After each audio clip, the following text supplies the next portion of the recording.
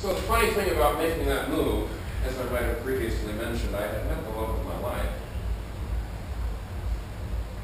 But we'd only been dating for about a year then, and I, I didn't feel right asking her to move to the other side of the country. Um, just, it just didn't even occur to me. And I was having a conversation one day with our mutual friend, the same woman who pushed it together in the first place.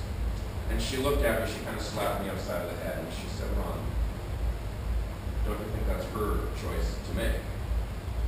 And I said, well, I, I haven't really thought about it that way. So I went to her and I said, I'm moving to Florida. Would you like to move with me? And she looked me in straight in the eye and she said, yes! But I didn't really still feel right about it. So I moved down in August of 2003. She had to stay back up there. She had a condo to sell. It took a while.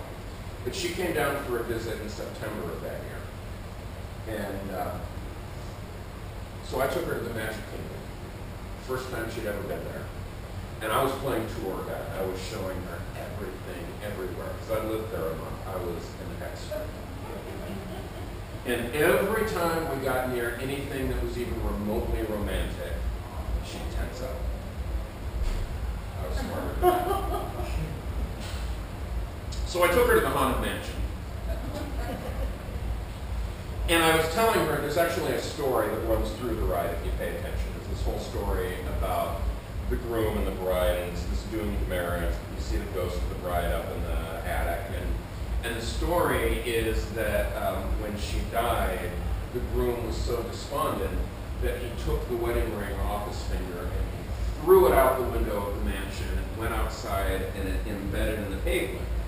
And there's actually a spot, it's not there anymore, they took it away because of stupid people like me, but there used to be a spot in the pavement there where it looked like there was a wedding ring embedded in the pavement. And what it really was, was an iron post that had been cut off at ground level. But people like me turned it into a story. So I'm telling her this whole story, and we're coming off the ride, and I've told her the whole doomed ride, this thing, and we get to that spot, and you know, I've got the ring in my pocket, and I in my hand, and I kind of get down on one knee, and I say, if you look right here, you can see where the ring embedded in the pavement. And speaking of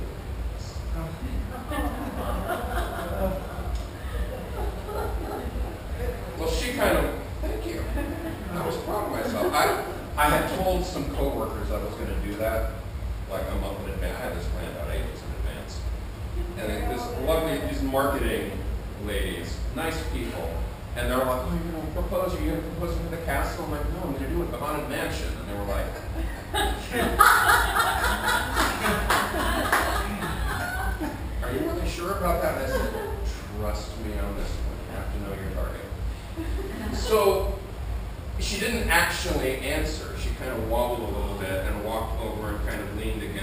Fence. And so I got up and I walked over there and I said, so was that a yes? And she said, yes! So my wife and I, so my wife and I actually got married at the Magic Kingdom in an unsanctioned guerrilla wedding. We just showed up one day, our little group, it was uh, her and I and my best friend had gotten himself ordained on the internet. And we had like four witnesses, and actually one of the Kodak photographers was walking by. We did it at the wishing well in front of Cinderella Castle. And there's a photographer walking by, he's like, what's happening? We said, we're getting married. I said, oh, can I take some pictures? We said, sure. So we have this beautiful picture from our wedding where we're standing at the wishing well holding hands. Lovely. Didn't pay a dime to Disney. So, getting back to our son. He wound up being completely obsessed with Snow White's Scary Adventures. And over the course of 10 years, we would go there, we were in the park two, three, four times a week, and we had to set a rule that he could go on the ride three times, and then he had to go do something else. And I, I had a counter, I like I kept count every day. I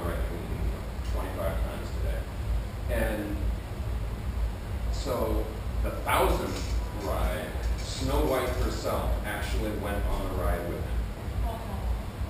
Which doesn't happen. They don't allow the face characters to go, but for Ben, they made the exception. I have this video. She's there in the mine cart. She and Ben are in the front row, and the whole ride, she's just in, in character and talking and pointing out things, and he is completely awestruck. It's beautiful, beautiful. For the 2,000th ride, they did a huge celebration. That was the year they were doing the year of a million dreams, and so there was the whole dream squad thing going on. They did a big blah. It was awesome. The 3000th ride it was miserable. It was a cold. It was like it was one of the three days in Florida where it's actually winter. It was just cold, miserable, and rainy, and ugh, it was awful. But as you might recall, the Magic Kingdom did a huge Fantasyland expansion a few years ago, and as part of that expansion, they permanently closed down Snow White Experience. And we knew that was coming, and we had talked to his, his therapist about it and how we should handle it.